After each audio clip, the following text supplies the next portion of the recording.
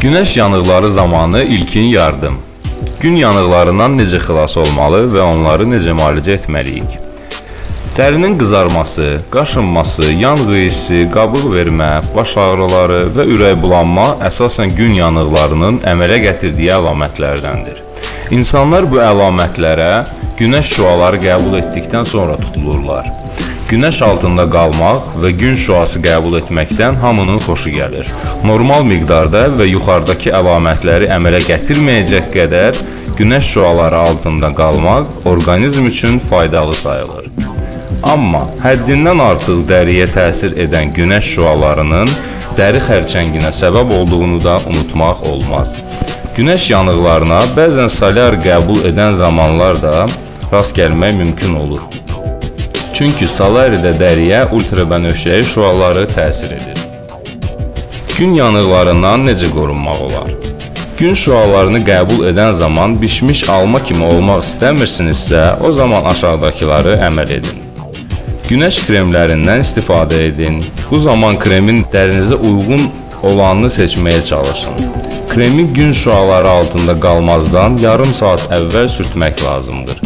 Gün şüası qəbul edən zaman kosmetikadan az istifadə etmək lazımdır. Mütəxəssislər qızmar yay günlərində qadınları adi günlərdən az miqdarda kosmetikadan istifadə etməyə məsləhət bilir.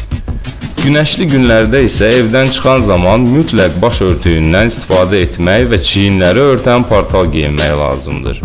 Bu sizin dərinizin yanmaqdan qoruyar. Gün şüalarının sizi yandırmamasını istəyirsinizsə, o zaman qızmar yay günlərində saat 11:00-dan 16:00-a qədər evdən bayıra çıxmanız məsləhət görülür. Az miqdarda dərinizdə qızartı hiss olunan zaman kölgədə dayanmaq və gün batana qədər evdən çıxmamaq tövsiyə edilir. Günəş yanıqlarını necə müalicə etmək lazımdır? Gün yanıqlarını müalicə edərkən əvvəlcə əmələ gələn yanğının hansı dərəcədə olmasını müəyyənləşdirmək lazımdır. Çünki günəş yanıqlarının da ağırlıq dərəcələri var və hər dərəcənin müalicəsi ona uyğun olaraq aparılır. Birinci dərəcəli yanıqlar zamanı dəridə zəif qızartı və yüngül titrəmə olur. Bu yanğın həkimə müraciət etmədən özünüz də müalicə edə bilərsiniz. Bu müalicə üsulları isə aşağıdakılardır. Soyuq duş və ya soyuq vanna. Çoxlu miqdarda maye qəbulu yumşaldıcı krem sürtmək.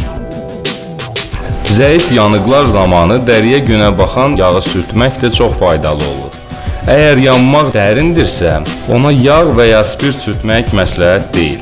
Çünki bu zaman yanan nahiyəyə hava axını daxil ola bilmir və dərinin sağalması uzun çəkir.